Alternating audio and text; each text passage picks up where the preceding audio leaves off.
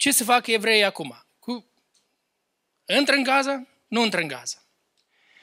Toată media spune să nu intre în Gaza, categoric. Dar ei vor să intre în Gaza pentru că de acolo zboară rachete continuu. Rachetele nu se opresc, nu se opresc.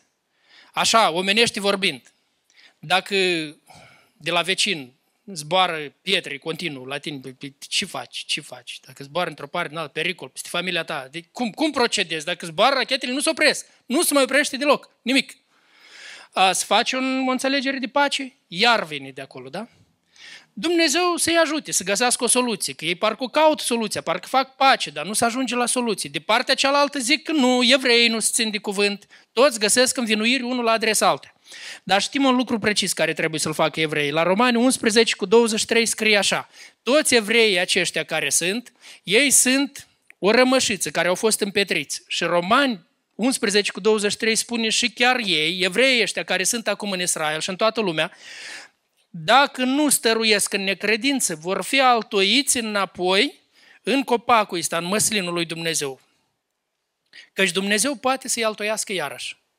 Deci ce este foarte important pentru evrei? Ce avem noi ca și creștini să le comunicăm evreilor?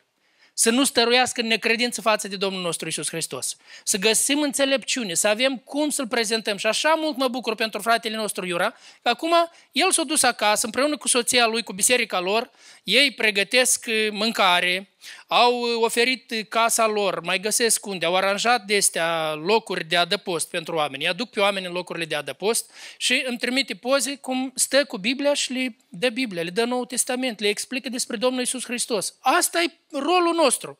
Rolul nostru foarte important.